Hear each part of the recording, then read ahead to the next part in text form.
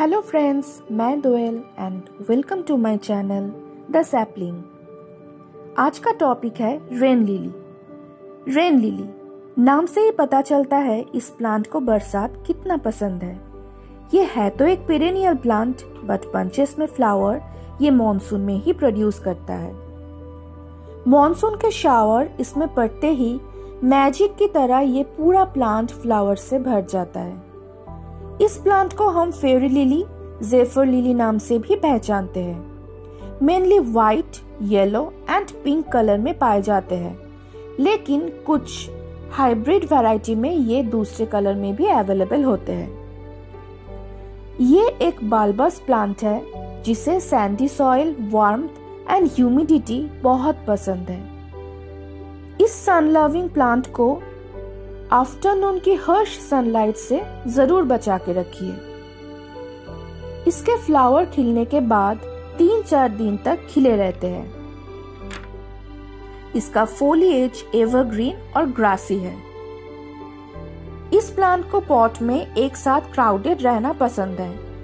लेकिन मेरा पॉट पूरा फिल हो गया है, इसीलिए मैं आज इसको रिपोर्ट करूँगी। रिपोर्ट करने के लिए मिट्टी मैं वही लूँगी जो मैं दूसरे प्लांट के लिए यूज़ करती हूँ, जिसमें है एक हिस्सा गार्डन सॉइल एक हिस्सा वर्मी कंपोस्ट और एक हिस्सा सैंड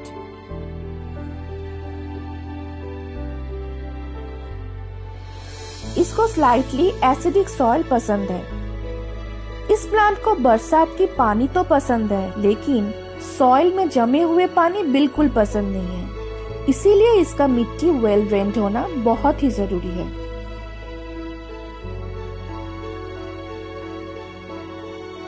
ये एक हार्डी लो मेंटेनेंस प्लांट है, जिसको फर्टिलाइज़र की भी ज़्यादा ज़रूरत नहीं पड़ता। ये प्लांट को अगर आप बड़े पॉट में लगाएँगे तो अपने आप ही कुछ ही दिन में ये पूरा पॉट को फिल कर देता है।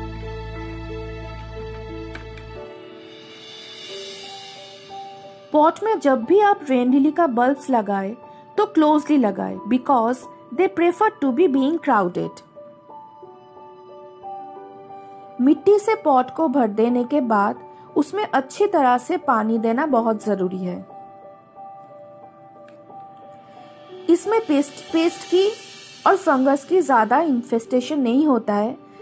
फिर भी आपको रेगुलर इंटरवल में इसमें पेस्टिसाइड और फंजिसाइड अप्लाई करना चाहिए।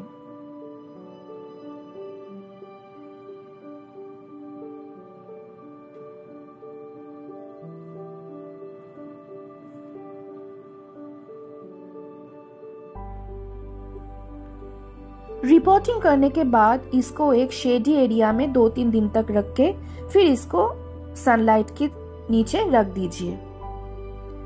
तो देर मत कीजिए। इसी बरसात में अपने गार्डन में रेन लिली को ऐड कीजिए। मिलते हैं नेक्स्ट वीडियो में। तब तक के लिए बाय बाय